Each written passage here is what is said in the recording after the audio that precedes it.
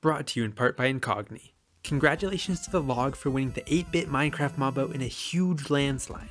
Very excited to see this new addition to the game. I can't wait to see what huge changes to the meta this will have. Big thanks to all the voters out there. By the way, we actually had more people vote than in the very first Minecraft mob vote. So there's that for you. I'm programming a version of Minecraft that runs on an 8-bit CPU from the 1980s. The game is specifically designed to work for the Commander X16 system. I'm writing this in 6502 assembly entirely from scratch. My biggest challenge? Hubris. I thought I could knock out this whole project in two weeks, maybe a month tops. oh, to be young and foolish. To recap where we left off last time, we have a chunk rendering system that will take the 16 by 16 by 16 chunk data from a disk and produce the world around Stanley, who is able to move around and between these chunks. It looks pretty cool, but we're missing some key elements here. Let's recall that the computer we're using, the Commander X16, has two graphics layers that we've adjusted to have a resolution of 160 by 120 pixels in bitmap mode. That means we're defining every single pixel on the screen independently, as opposed to the attempted method using tile mode that we tried before. After rendering each chunk to the screen one block at a time, Layer 0 holds the visual output of how the world looks, and the player is able to walk around this screen. Stanley is a sprite, a dedicated bitmap that is able to be placed anywhere on the screen between the layers without affecting the data of those layers. Currently, he's sandwiched between layer 0 and layer 1. We'll see specifically why that arrangement soon. But as it is, his sprite is merely moving around the screen freely. Layer 0's data isn't having any influence on where he can or cannot move. And how can it? Layer 0 is just the name given to this list of bytes in VRAM that represents this image. It's completely separate from the chunk block data. Stanley may as well be walking around on some random painting right now. You and I may look at this block here and say, well clearly that's a block located at this x, y, z coordinate in the chunk's 3D space. But how is the program supposed to know that this pixel here represents part of block 2812? It can't. It's just a blue pixel. It doesn't carry any other data. So while I can't rely on Layer 0's graphical information to say where Stanley is, I can create a logical system of 3D positions and collisions using raw math, and then the results of those functions will affect the player's on-screen x and y sprite coordinates. So where do I stand in all this? Right here. The player's x and y sprite coordinate is located at the top left of the sprite, but I do all the calculations for where the player is located in relation to the blocks in the chunk using the center pixel of the player's foot what I fondly call the hit bit, along with keeping track of the player's current Z level. We'll call it 7 for this example. Each chunk is rendered starting from the top position and then drawing 16 blocks up in a column before going to the next column position and continuing until all 256 columns are drawn. Each block in the chunk has a 12-bit array index, which converts to a non-unique screen position, as in some blocks are perfectly drawn on top of another and because this position isn't unique, we can't directly convert from a screen coordinate back to this 12-bit array index. But here's a trick we can pull off. Let's ignore the bottom 4 bits of this 12-bit value. This is like dividing by 16. It has the effect that we don't know which number block in the column this is, all we have is a position within the 256 blocks of this layer. Well, if we know that our player is currently standing on layer 7, then we can jump to that layer and check every block to see if they contain our player's hit bit. This calculation isn't helped by the irregular block shape and variable number of blocks per row, but eventually we find the right block. And to get the full 12-bit index of this block in the chunk array, we can just roll the player's current Z back onto this value. By running that calculation every time the player moves, we're able to successfully track which block the player is currently standing on. But to create an interactive 3D environment, we need both gravity and collision. Now, while I'm no physics major, I do enjoy listening to physicists talk about conspiracy theories on podcasts, so it's pretty much my minor at this point. Unfortunately, there are no aliens here to help my code with the heavy lifting, but surprisingly, adding gravity is really simple. We can use that function that we just created to check which block the player is standing on, and if that block is an air block, then gravity can move the player down one block's height. Maybe it's not that simple, I also have to keep track of the current z height and if that needs to change, along with the gradually increasing downward momentum of the player, and a bunch of other things that make sure that the player successfully moves down by 3 pixels.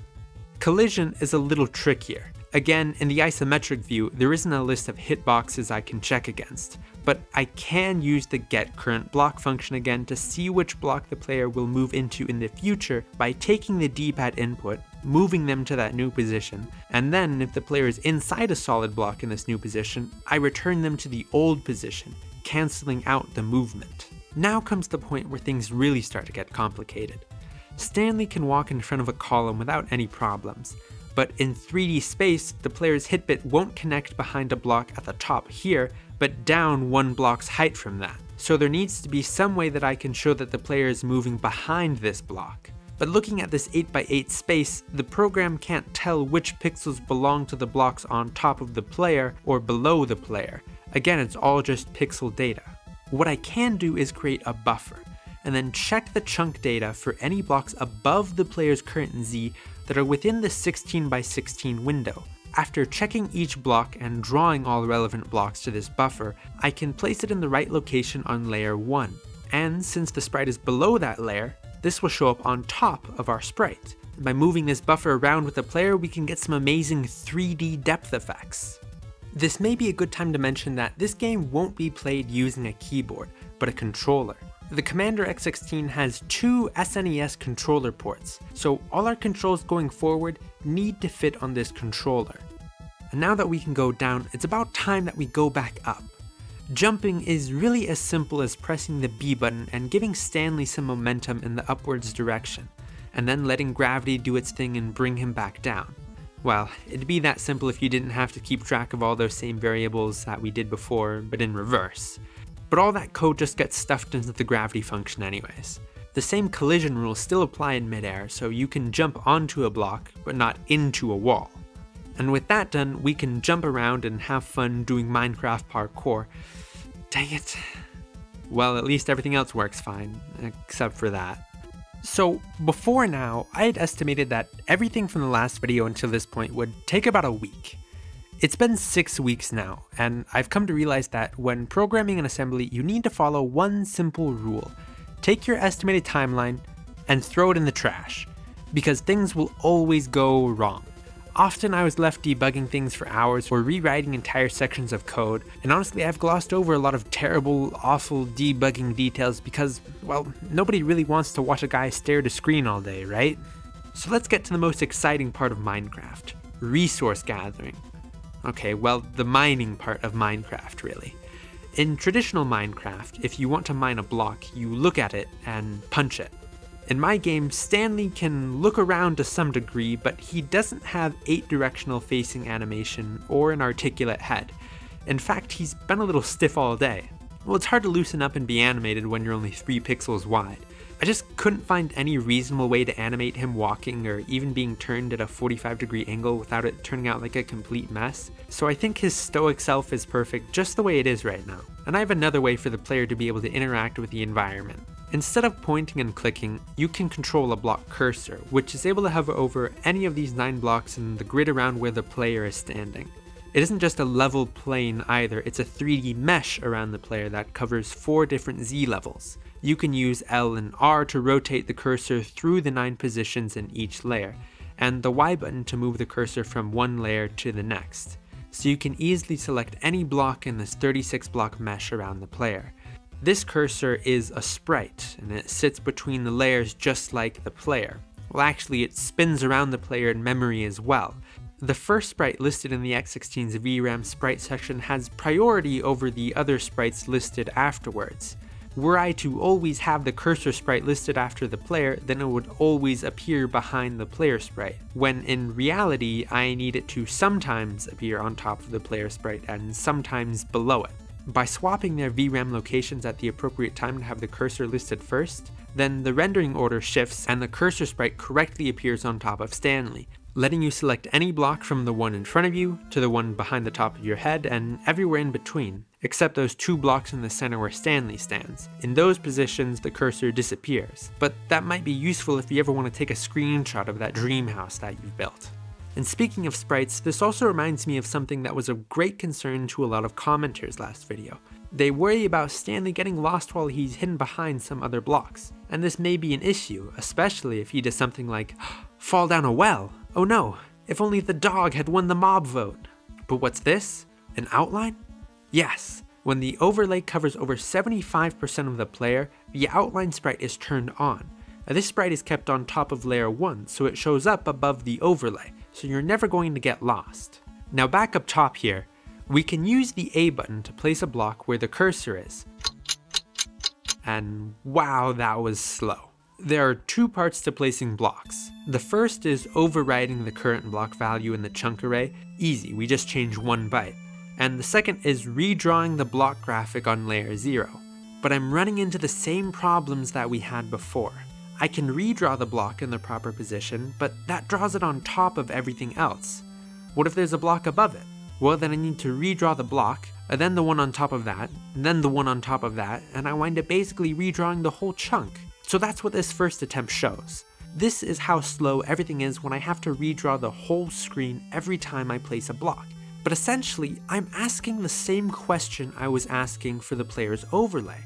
What's on top of this? But this time this isn't the player's hit bit, it's the new block location, and the answer to this question is the same as well. It's the results of calculating an overlay from this position, but instead of taking the results and putting them on layer 1, I only need to take the 8x8 core and add that directly to layer 0, and that updates what the chunk looks like at the block's position, including any blocks on top, beside, or in front of it. This isn't the end of placing blocks, but we have to take a quick detour to get to everybody's actual favorite thing to do in Minecraft. I know, I can hear you all screaming it through your screen, when's he going to get to inventory management? Well, your prayers are about to be answered, my friends. The player's inventory will work very similarly as in other mining and crafting games. There are 8 hotbar slots for the player to use in the overworld, which can be filled with either blocks or items. Oh yeah, I still need to make all the items.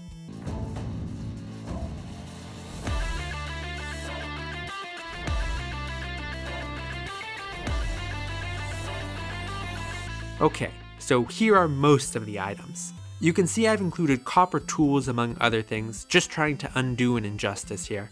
Not everything is in the final stage yet, notably armor may need to have some more work to be better represented, but I think it's good enough for now. Okay, so back to the inventory. With the X button, you can open the inventory and see all 32 inventory slots, 3 armor slots, no boots if you have no feet, 4 crafting slots, and one crafting output slot. Using the D-pad, you can move around the inventory cursor, select an item with A, and then place or swap it with another position by pressing A again. One question I have to answer soon but not now is, how many items can you carry at once? Each inventory slot is made up of two bytes. The first is the block or item number, being 127 each, and the top bit represents whether it's a block or an item but the second is a full byte for the number of items. Now, I could give it an arbitrary cap, like 64 items, or I could use the byte's full potential, letting you carry up to 256 of an item. What do you think? In the overworld, you can slide the inventory cursor around on the hotbar by using start plus the d-pad. I think that select plus the D-pad would make more sense naming wise, but with the controller in your hands, you really can't press select and use the D-pad at the same time, so I've switched it to start. With this, you can choose which blocks from your hotbar to place in the overworld by pressing the A button, and that's a lot of fun. Honestly, it's incredible how much progress has been made and how many systems had to be built in order to be able to walk around in this 3D world, place blocks, build bridges, and, uh, how do I mine misplaced blocks? Let's come back to that in a second. Let me share some exciting news first. It's time to announce an official name for the game, because I can only keep calling it 8-Bit Minecraft so many times before I get a letter from someone's lawyer. From now on, this game will be officially known as Ink Blocks. I'm just kidding, I thought that was a really funny name though. I'm calling it 8-Bit Blocks. And the first alpha release of 8-Bit Blocks is available to download right now. This release allows you to explore a pretty boring world in creative mode. You can explore, build, and mine. This last feature will change eventually, but by long pressing A on a solid block, you'll mine it away and store it in your inventory. Just remember that in order to properly save any builds you've made, you need to exit to the title screen using the select button. Everything in this release is all subject to change and your feedback will help shape how the game is made going forward. with the next big features to be added including proper mining and terrain generation, which should probably only take me about two weeks I'd guess. So subscribe to not miss any more updates. Remember to check out Incogni down at the link below, and until next time, thanks for watching.